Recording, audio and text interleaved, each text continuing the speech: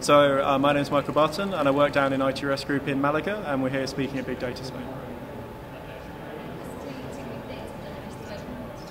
I think the biggest change has been bringing much more intelligence in the use of storage. So, traditionally in big data systems, we've been looking at storage as just a place for the data to live. And now, with systems like Velo, we're really taking the analysis and making it much smarter. Because in traditional database systems, you're able to maintain complex indexes for textual data and, and beginning to maintain indices about time series data as well. So, it's really about taking the sort of computation graphs and analysis that we've generated with existing tools and pushing it down to uh, uh, to run it against the data whilst it's in storage. That's probably the biggest trend.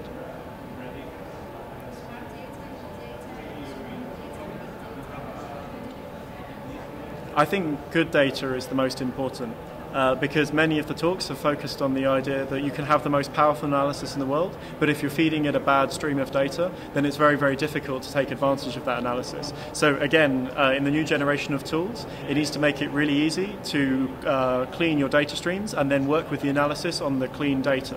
Uh, so traditionally that may have been a multi-step process that might have involved different tools. So now being able to think about cleaning your data and the context in which you're working with your data in terms of the same queries that you're using to perform analysis makes it incredibly powerful.